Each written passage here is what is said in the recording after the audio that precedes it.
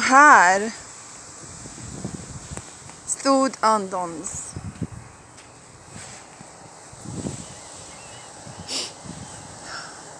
Vagn.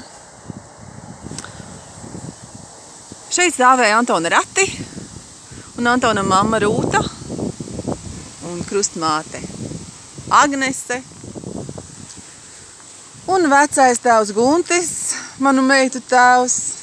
Visi mēs četri bijām ar Antonu piekto šeit. Bet šeit bija vēl divi cilvēki. Paldies viņiem, ka viņi bija atnākuši un atļāvuši mums nosvētīt nozagto bērnu. Tie bija Eva, Āniņa komūnas, korporācijas atalgotā auģu māte un Mārija Samuelsona tieši tā, kura bija iznesusi bērnu ārā no mūsu dzemdību istabas. Hāniņa komunas korporācijas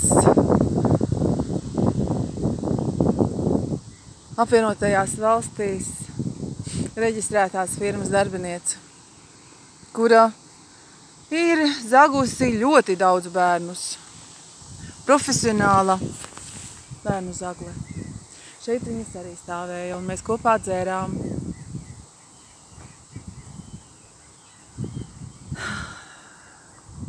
Bezalkoholisko pīlāģu dzīriņu.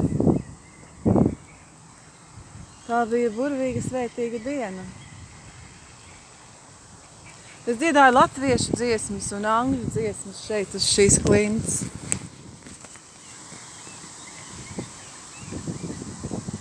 Un pie piesaucu Dievus, lai dod Antonam Robertam Rietumam dižu mūžu, lai sargā viņu. Divas stundas pēc šī notikuma nograntēja bērns. Es ļoti ceru, ka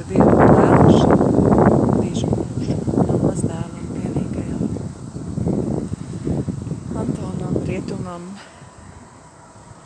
kurš joprojām ir nozakts. Viņš dzīvo Strengnēsā, Zviedrijā.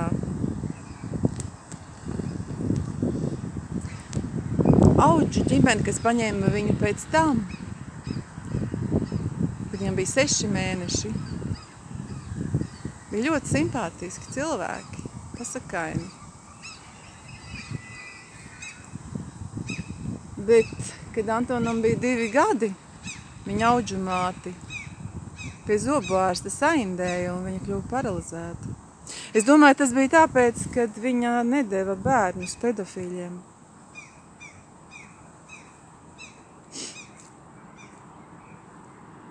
Un tagad auģu tēvs ir pametis paralizēto auģu māti, un Antons ir pie auģu tēva.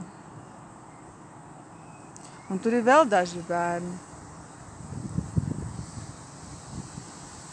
Un mēs esam pieprasījuši izmeklēšanu par pedofīliju, jo tas ir profesionāli ļoti izplatīts Zviedrijas pāriņtiesās. Bet nekāda izmeklēšana, protams, nenotiek.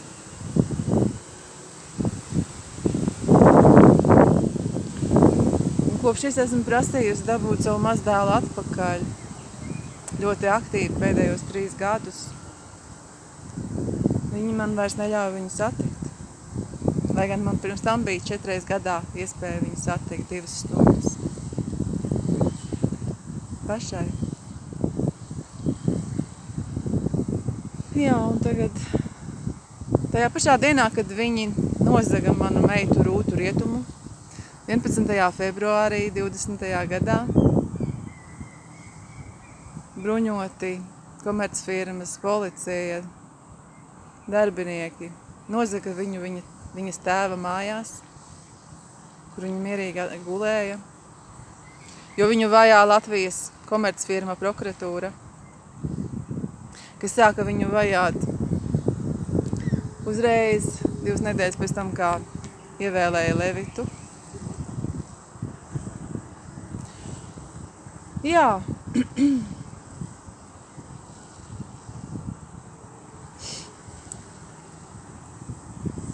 Tā komercfirma. Ir tagad Hāniņa komūnas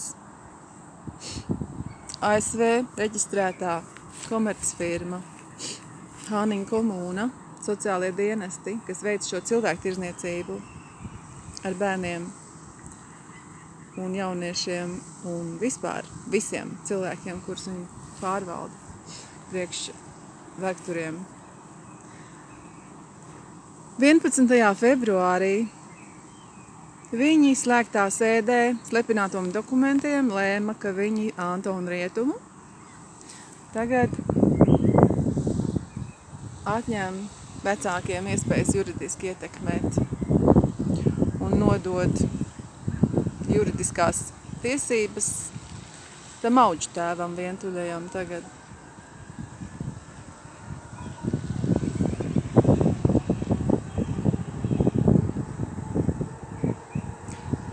Un rūtu viņi ir iebāzuši nezinu kur, bez tiesas, bez taisnas tiesas, bez kā. Jau 115 dienas mana meita ir pazudusi. Man ir nozakta meita, man ir nozakts mazdēls. Un tiek izslaktēta mana tauta. Un to dara tie, kas līdz šim ir varējuši upurēt mūs, netiekot upurēti paši, sātanisti, kuri saka vienu, bet dara pavisam ko citu mums.